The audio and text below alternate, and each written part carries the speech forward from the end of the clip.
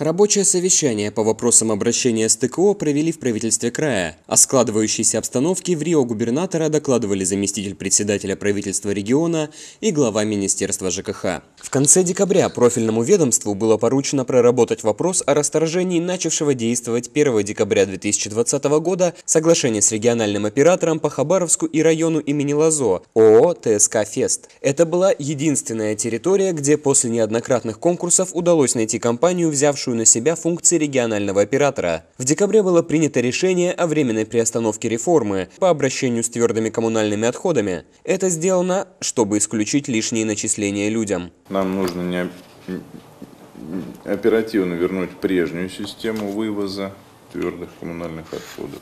Какие меры, коллеги, были приняты для недопущения мусорного коллапса?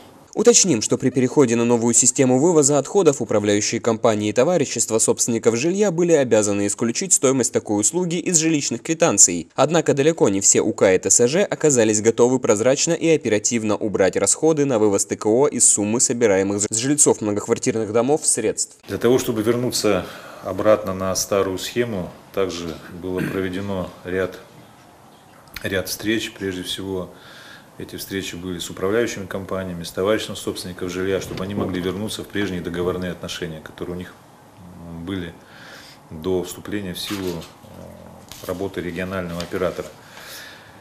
Э, был создан, был создан штаб, мы определились, что квитанции, значит, э, люди отдельную квитанцию не получат. Все будет в рамках старой квитанции, значит, отдельной строкой выделена эта ставка в течение месяца, которых, которых, э, которые отработал региональный оператор. Сложность была с прямыми договорами. Региональный оператор заключил более двух э, тысяч э, договоров прямых. Это многоквартирные дома, где люди вышли на прямые отношения. Но и этот вопрос также удалось урегулировать путем заключения соглашения с РКЦ, которые выставили в квитанции все-таки управляющей компании эту, эту ставку вывоз э, твердых коммунальных отходов. Также серьезной проблемой стал подбор бизнес-структур, готовых взять на себя обязанности регионального оператора, в особенности на севере края. Кроме того, в регионе на сегодняшний день всего 6 легальных точек, где аккумулируются ТКО, два полигона в Советско-Гаванском и Лазо районах, два объекта обезвреживания отходов в Верхнебуринском районе, по одному объекту обработки и обезвреживания отходов в Хабаровском районе и Комсомольске-на-Амуре. Более 80 объектов размещения твердых коммунальных отходов несанкционированные. Наша с вами задача не допустить допустить ни в Хабаровске, ни в районе имени Лазо, нигде бы то ни было э, сложностей с вывозом твердых коммунальных отходов.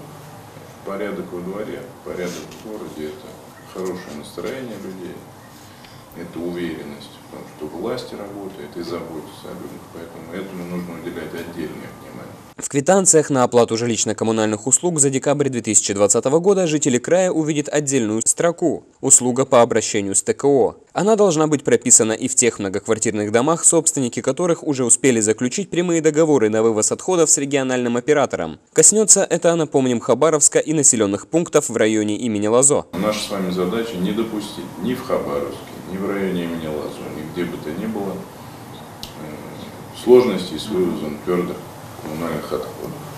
Порядок во дворе, порядок в городе – это хорошее настроение людей, это уверенность в том, что власти работают и заботятся о людях, поэтому этому нужно уделять отдельное внимание. В течение новогодних выходных жалобы на скопление коммунальных отходов вблизи жилых домов принимались на горячую линию Министерства ЖКХ района. Из более чем сотни поступивших обращений 65 по Хабаровску, 10 по Комсомольску на Амуре, 8 по Хабаровскому району, 6 по Амурскому району, 4 по Советско-Гаванскому, 2 по Николаевскому району и по одному в Комсомольском и имени Лазо районах. Людей беспокоили не своевременный вывоз ТКО, ненадлежащее содержание контейнерных площадок управляющими организациями, трудности с вывозом крупногабаритных габаритного мусора. Более 70% обращений оперативно отработаны. По остальным, как сообщили в Краевом министерстве ЖКХ, нарушения устраняются.